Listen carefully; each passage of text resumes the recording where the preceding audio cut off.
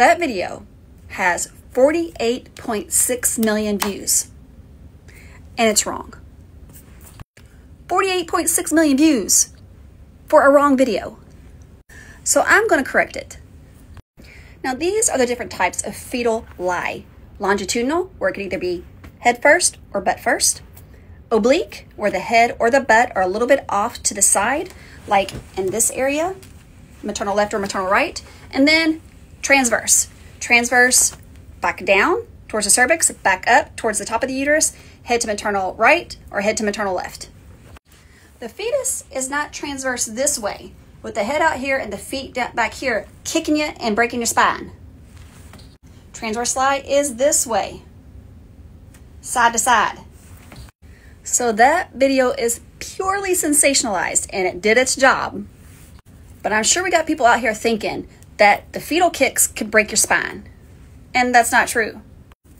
Now, a fetus is typically either, either transverse back down, where the spine is like this, on the lower part of the uterus, along where the cervix would be, or transverse back up, where the, the spine is along the top part of the uterus with the arms and the legs kind of hanging down.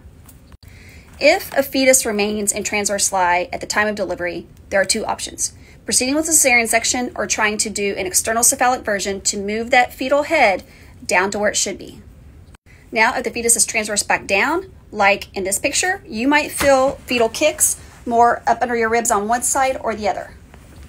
If the fetus is transverse back up, where you take that fetus and flip it up to where the, the head is on one side or the other and the spine is like this across the top of the uterus, then you might feel the kicks on one side or the other lower in the abdomen.